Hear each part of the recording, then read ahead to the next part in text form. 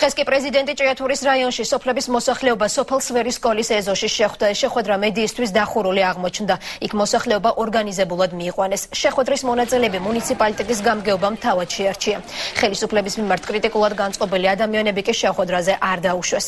სვერის სკოლამდე მოსახლეობის ავტობუსებითა და სამარშრუტო ტაქსებით მიყონა გამგეობამ თავადვე უზრუნველყო მიხელ სააკაშვილი ჭიათურის რაიონის სოფელ ხრუკვეთში გუშინ საღამოს ჩავიდა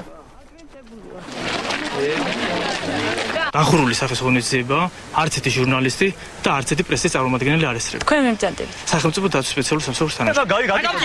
სუფლება რა დაუშვება. ასე პირადული ნამდვილი. სოფელი. პარანად გაცამტერ ამ ნოგას რა? ხანი გავჩერე. ისურა შემაგაშას. ა, ისიღაში, ისიღაში მის ადგილი. ქორა მოსპო ჩეხან დააკოტრა. სოფელი წამოდი გაგოს გარბა. დეი მოზები, ხაზები თამარა დღეშია. ჩამოსული იყო ბაქრაძე. იქაც ხელი შემიშალეს.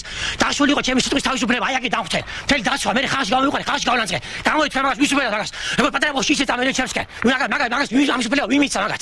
იყო ტრანსპორტი გამოყოფილი გამგეობების ძალიან ორგანიზებულად იყო ყველაფერი არ დაბრკოლებულად არაფერში მე ფიზიკურად მოძრაობა არ შემეძლო მაგრამ რო ვიცოდი რომ ეს ორგანიზებულება იყო ყველაფერში და ტრანსპორტი მინდა ჩემ პრეზიდენტს ხარში დავუდგე ყველაფერი გავაკეთებ და რა ეს რომელი არხია? გჯერა თქვენ, ხო? ხო არა.